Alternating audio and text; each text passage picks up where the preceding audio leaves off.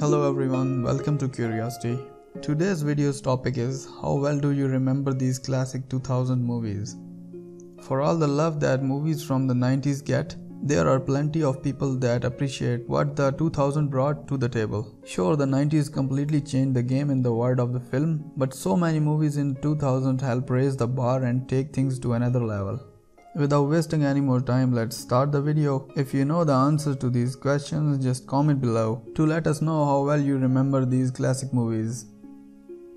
Question number 1 for you is Which museum is featured in The Night at the Museum? Question number 2 What does Hitch refer to himself as? Question number 3 How many Ice Age films are there?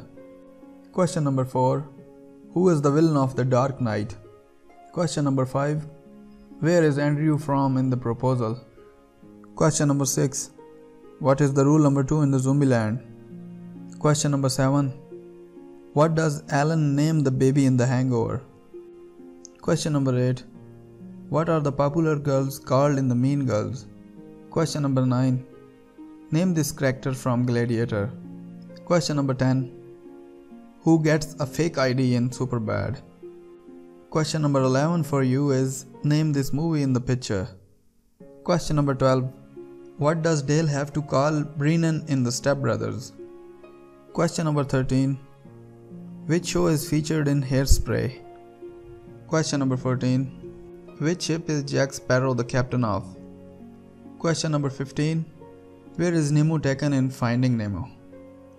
These are a few questions about classic movies. Hope you like the video. If you like the video, kindly subscribe our channel and take care of yourself and people around you. We will see you in the next video.